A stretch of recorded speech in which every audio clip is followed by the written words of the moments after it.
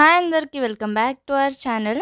ఈరోజు మన ఛానల్లో ఎంతో tasty paneer butter masala with butter naan combo recipe చూపిస్తానండి. మనం రెస్టారెంట్లో ఎంతో ఖర్చు పెట్టి తినే ఈ రెసిపీ ఇంట్లోనే ఈజీగా ఎలా తయారు చేసుకోవాలో చూద్దామండి. ముందుగా బటర్ నాన్ కోసం పిండి కలుపుకోవాలి. ముందుగా ఒక బౌల్ తీసుకొని దానిలో ఒక కప్ మైదాని వేసుకోవాలి. దీనిలో టేస్ట్కి సరిపడా salt one spoon sugar one and half teaspoon baking soda one and half cup పెరుగు రెండు చెంచాల వరకు ఆయిల్ని వేసుకుని బాగా మిక్స్ చేసుకోవాలి.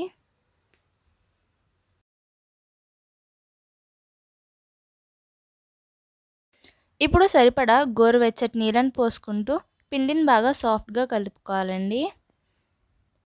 పిండిని ఇలా బాగా కలుపుకున్న తర్వాత పైనుంచి రెండు చెంచాల ఆయిల్ని వేసుకుని పిండిని అరగంట పాటు నాననివ్వాలి.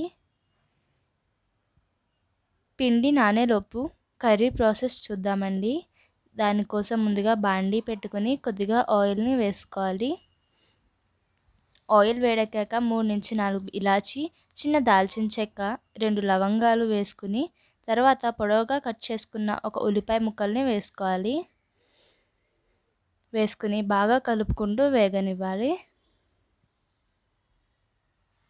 ఉల్లిపాయలు వేగాక నాలుగు టమాటాలను ముక్కలు కట్ చేసుకుని వేసుకోవాలండి. టమాటాలు కాస్త వేగాక కట్ చేసిన అల్లం ఐదు నుంచి ఆరు వెల్లుల్లి రేఖలు వేసుకుని తర్వాత ఐదు బాదం పప్పులు పదిహేను నుంచి ఇరవై వరకు జీడిపప్పులను వేసుకుని ఇవి బాగా వేగాక స్టవ్ ఆఫ్ చేసుకుని చల్లారనివ్వాలండి. ఇవి చల్లారాక మిక్సీ జార్లోకి తీసుకుని అవసరమైతే కొద్దిగా నీళ్ళను చేర్చి బాగా మెత్తగా మిక్సీ పట్టుకోవాలండి.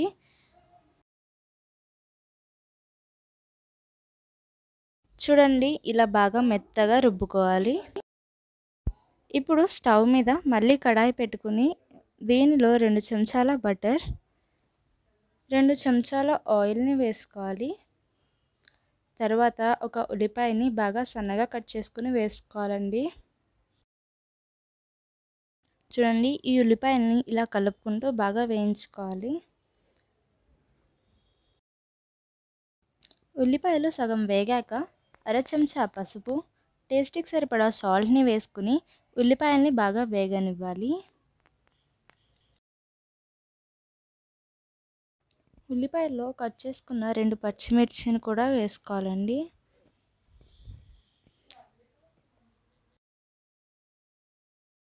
చూడండి ఉల్లిపాయలు బాగా వేగినాయి కదా. ఇప్పుడు దీంట్లో ఒక చెంచా కసూరి మేతిని టేస్ట్కి సరిపడా కారంని కూడా వేసుకోవాలి. వేసుకుని అన్నీ బాగా కలుపుకోవాలండి.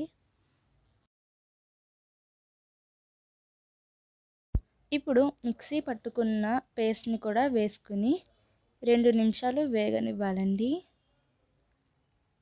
మిక్సీ జార్లో వాటర్ని పోసుకుని ఆ వాటర్ని కూడా కర్రీలో వేసుకుంటున్నాను. నేను వన్ కప్ వరకు వేస్తున్నాను.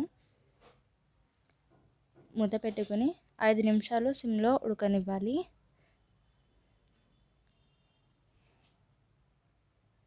ఐదు నిమిషాల తర్వాత ఒక చెంచా జీలకర్ర పొడి ఒక చెంచా గరం మసాలా పొడి రెండు చెంచాల పాలమిగడను వేసుకుంటున్నాను. తర్వాత రెండు వందల గ్రాముల పన్నీర్ ముక్కల్ని కూడా వేసుకుని బాగా మిక్స్ చేసుకోవాలండి.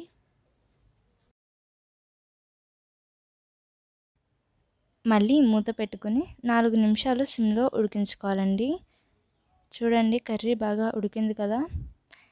ఇప్పుడు దీంట్లోకి సన్నగా కట్ చేసిన కొత్తిమీర చిన్న కప్పును వేసుకుని ఒకసారి బాగా మిక్స్ చేసుకుని స్టవ్ ఆఫ్ చేసుకోవాలండి. అంతే ఎమ్మి ఎమ్మి పన్నీర్ బటర్ మసాలా రెడీ అయిపోయింది. ఇప్పుడు పిండి బాగా సాఫ్ట్గా అయిందండి. ఇప్పుడు దీంట్లో నుంచి ఒక పిండి ముద్దని తీసుకుని చేతితో ప్రెస్ చేసుకోవాలి. ఇలా ఒకసారి పొడి పిండిని చల్లుకోవాలండి. దీన్ని ఇలా చేత్తో ప్రెస్ చేసుకుంటూ దీన్ని అరచేతి మీద ఇలా నాన్ షేప్లో చేసుకోవాలి. ఇలా కుదరకపోతే చపాతీ కర్రతో అయినా వత్తుకోవచ్చండి. ఇప్పుడు ఒక సైడ్ వాటర్ని రాసుకుని పెనంపై బాగా వేడెక్కాక నీళ్ళు తడిపిన సైడ్ కిందకు వచ్చేటట్టు నాన్ని పెనం మీద వేసుకోవాలండి. చూడండి ఇలా నాన్ మీద బబుల్స్ బాగా వచ్చాయి కదా. ఇప్పుడు పెనంని ఇలా రివర్స్ చేసి రెండు వైపులా కొంచెం లైట్గా కాల్చుకోవాలి.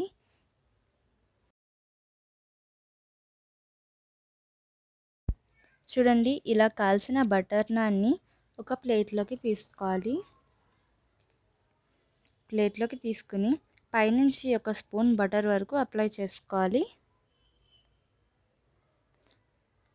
చూడండి కింద సైడ్ కూడా బాగా పర్ఫెక్ట్గా వేగింది. అంతేనండి ఎంత tasty paneer butter masala. Butter naan ఎంతో ఈజీగా తయారు చేసుకున్నాం కదా. అందరూ తప్పకుండా ట్రై చేయండి. మీకు ఎలా వచ్చిందో కమెంట్ సెక్షన్లో కమెంట్ చేయండి. మా వీడియోస్ కానీ మీకు నచ్చినట్లయితే మా ఛానల్ని సబ్స్క్రైబ్ చేయండి. వీడియో నచ్చినట్లయితే లైక్ చేయండి షేర్ చేయండి కమెంట్ చేయండి. And thanks for watching.